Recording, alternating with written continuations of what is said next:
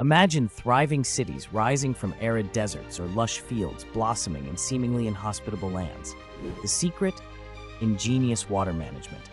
Thousands of years ago, early societies crafted intricate networks to capture, store, and distribute this life-giving resource with remarkable precision. In the valleys of Mesopotamia, people built massive canals and levees, skillfully channeling river floods to nourish vast fields of crops. Across the ocean, the Maya carved out underground reservoirs called chultuns, cleverly collecting precious rainwater during dry spells to sustain their communities.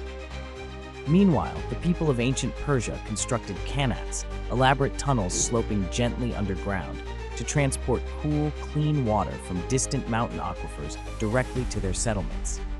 These systems weren't just about survival, they enabled population booms, flourishing trade routes, tea, and the rise of magnificent cities that shaped history. Their success depended on keen observation, trial and error, and a deep understanding of nature's rhythms and cycles.